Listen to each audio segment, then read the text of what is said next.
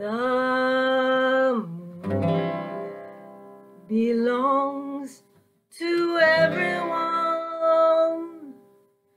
The best things in life are free.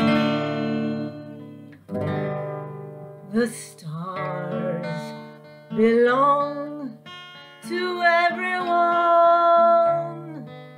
They gleam there if we. The